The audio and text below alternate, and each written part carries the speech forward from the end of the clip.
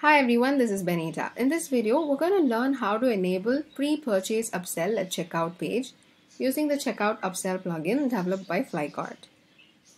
Pre-purchase upsell is presented before a customer completes the order or transaction. They are an important part of the sales process because of their potential to increase average order value of the customers.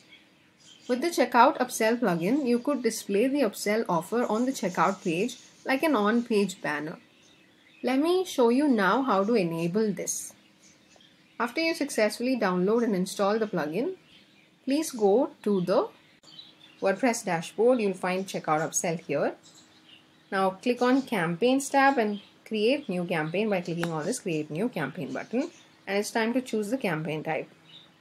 We know the campaign type for this particular video is going to be pre-purchase. So I'm selecting pre-purchase and this is the next step. Now we have to enter a title for the campaign. Alright so let me name the campaign as exclusive deal. Any suitable name. And then here's the upsell offer that we're trying to give to the customers. So let's click on add offer.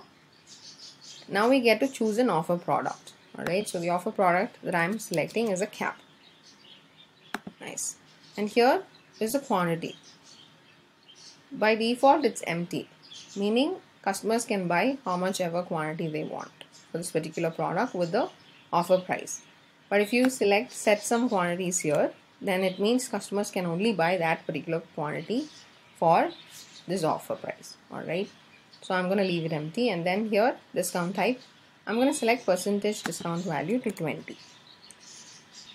Now you can notice the offer preview here. This is what the upsell offer looks like alright that is all. Very simple. Let's click on add offer and then save and close this particular campaign that we have created which is a pre-purchase campaign.